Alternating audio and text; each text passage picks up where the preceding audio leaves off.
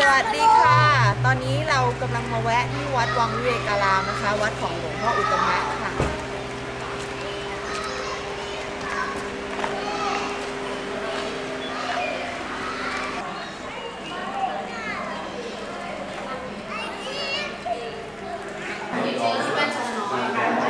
แต่ว่าโดนแม่เป็นเพื่อนใช่แฟนโดนเพราะเกิดสุชาติมีขาดคนอื่นไม่โดน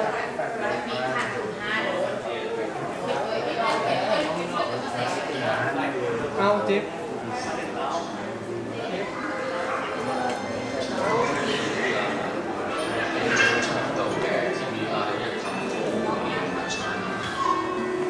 เป็นชาติแรกที่ตั้งถิ่นฐานในบริเวณรอบแม่น้ำมีวิสัยทัศน์เฮ้ยเดี๋ยวทำไอ้ถวายกันนะอืมสวยมาก